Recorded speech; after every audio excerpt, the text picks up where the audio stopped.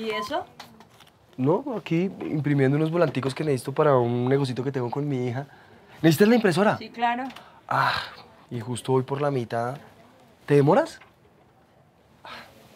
Bueno. Hágale, mija, porque ¿qué podemos hacer? Hágale. No, señor.